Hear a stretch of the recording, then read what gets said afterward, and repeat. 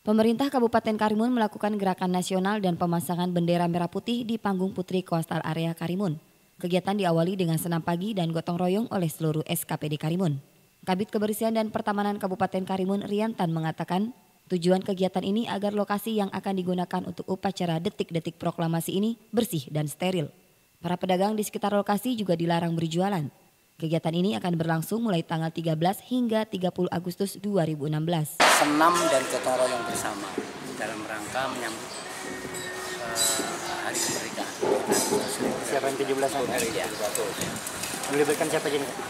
Oh, ini melibatkan semua SKPD, termasuk uh, apa eh, instansi vertikal, juga uh, ormas.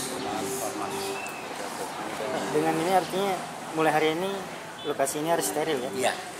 Diharapkan supaya mulai hari ini eh, dengan dukungan seluruh masyarakat gitu ya, kita harus menjaga kebersihan, disterilkan sampai dengan tanggal 30. Karena kegiatan 17 kita ini dari hari ini sampai dengan tanggal 30.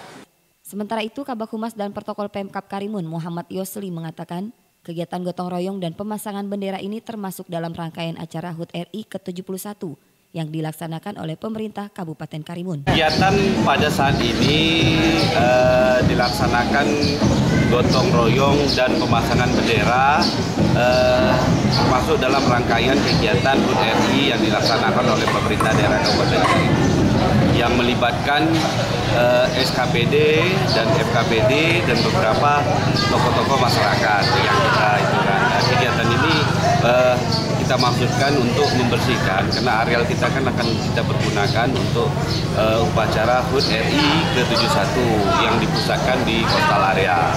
Itu yang kita laksanakan ini.